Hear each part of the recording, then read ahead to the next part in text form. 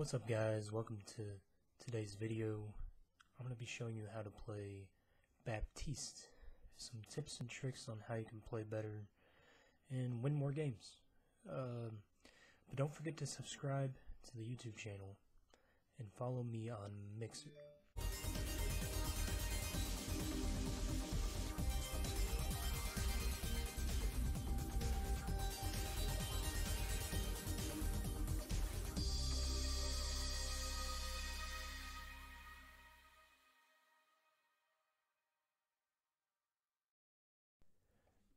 So yeah, this is uh, Baptiste.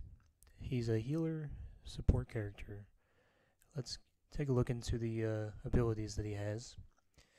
Alright, so we got his biotic launcher. He shoots a three round burst gun that does pretty significant damage. As you can see, you can kill a roadhog pretty fast with this weapon. But he's an all around good healer, you know, like he can do damage, he can heal players. And then we also got this lava healing projectile that heals all allies near the impact.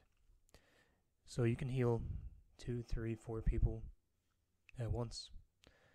So I'd say if you're getting into the support class, Baptiste is a good choice. Now let's take a look at his ultimates. Amplification Matrix. Project a matrix that doubles the damage and healing effects of allies in the projection. So basically, as you can see, like this tracer does two times the damage that she normally does. Okay, so you got the regenerative burst. Activi activates a heal yourself and allies near you. As you can see, it does about 100 health, or 75 health. And then you got the immortality field. Toss a device that prevents allies from dying. This device can be destroyed. So make sure you try to hide it so that the enemy team can't destroy it.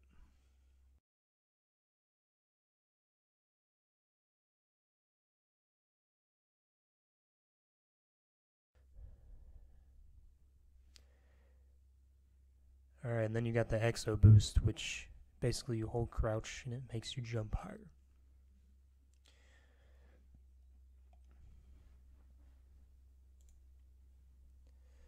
So one of his main abilities that you want to master is his jump ability. You want to learn how to jump in unique ways to help your team and get away from danger. Like right here, you see how I took the high ground so that I could keep healing, but at the same time be away from enemy players. Another tip is to try to use his immortality field as often as possible, but keep it hidden whenever you use it. When using Baptiste Ultimate, try to use it in areas where you can flank the enemy team, but also heal your teammates at the same time.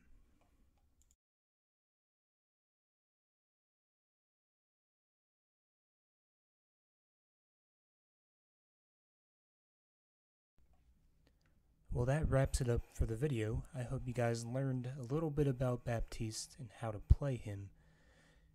And hopefully you can get some more wins under your belt.